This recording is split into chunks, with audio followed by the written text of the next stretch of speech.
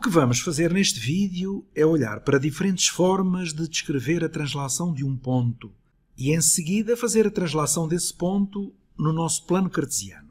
Então, por exemplo, dizemos aqui traça a imagem do ponto P devido a uma translação de 5 unidades para a esquerda e 3 unidades para cima.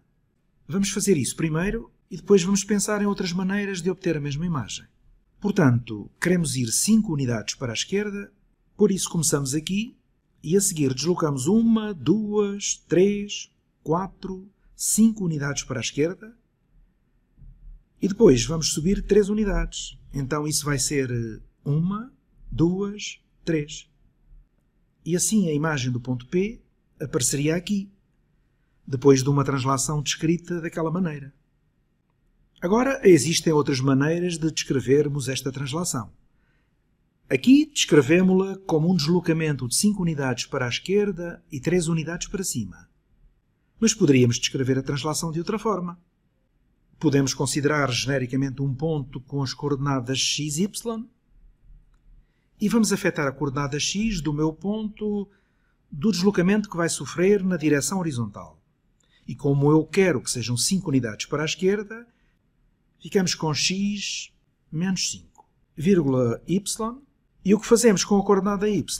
Bem, vamos aumentá-la em 3 unidades. Vamos deslocar 3 unidades para cima e fica y mais 3. Então, o que isto nos diz é que, quaisquer que sejam as coordenadas x e y do nosso ponto, esta translação vai fazer-nos subtrair 5 unidades ao x. Isto significa deslocarmos-nos 5 unidades para a esquerda.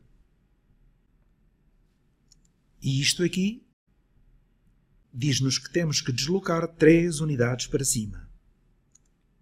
Aumentamos a coordenada y em 3, diminuímos a coordenada x em 5 e agora vamos testar isso com este ponto em particular. Este ponto aqui, P, tem as coordenadas, a coordenada x é 3 e a coordenada y é menos 4. Então vamos ver como isto funciona. Se eu tiver 3 menos 4 e aplicar esta translação, o que é que acontece? Bem, deixa-me arranjar espaço para as minhas coordenadas. Então comecei com 3 e menos 4 e vou subtrair 5 de 3. Subtraio 5 aqui, vemos isso ali, e vamos adicionar 3 ao y. Reparem, no lugar de x, agora tenho um 3. Em vez de um x, agora tenho um 3. Em vez de um y, agora tenho um menos 4. Em vez de um y, agora tenho menos 4. Escrevendo isto de forma mais simples, vamos de 3, menos 4 para 3 menos 5 é menos 2. E menos 4 mais 3 é menos 1. Então, quais são as coordenadas aqui?